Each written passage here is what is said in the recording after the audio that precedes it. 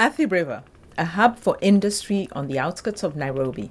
It's growing fast, but the infrastructure is barely keeping up. One of the very challenging uh, thing is, is water because people used to get water from the, the river nearby or the dams or sometimes they, they use donkeys and sell water to people and people don't even know where the water is coming from. Enter Grundfos. The Danish firm turned their know-how making high-quality pumps around the world to a local solution a water station powered by solar energy. In 2008, Grundfos made a strategic decision to enter into the base of the pyramid. We have poor people who need some solutions, especially with water, and us being a leader in that field, we decided to come up with some solutions. They created a novelty in these parts, a water station that actually works. This is what we call the water dispenser.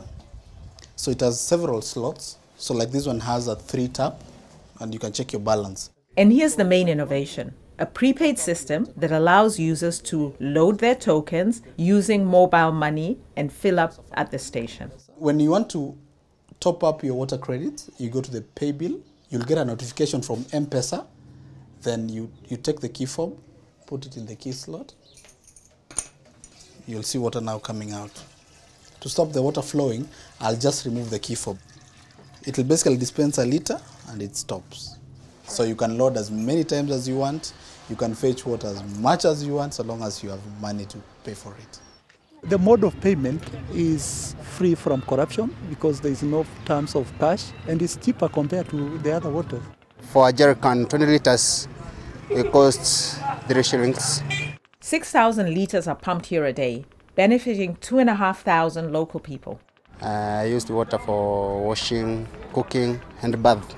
Sometimes we used to buy water that you don't know whether it's clean, but this one is very clean because you get it from here. You see where the water is coming from. Waterborne diseases have gone down because now they at least they're using safe water.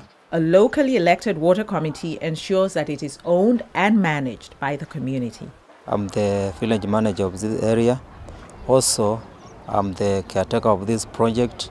You have to have a well-functioning water committee because they'll be like the custodian of the project. Athi River is one of 40 similar pilots in Kenya. Just one example of mobile money making utilities and services more accessible, or what some people call digital finance plus. You're going to see many water companies embracing prepayments because they have bad, a lot of bad debts. And I think going forward, you're going to see people embracing that technology. The population is growing and the demand for water is going high every day. The resources that is being used to pump the water, which is the sun, is sustainable, it's reliable, it's something that you are sure that is going to be there tomorrow.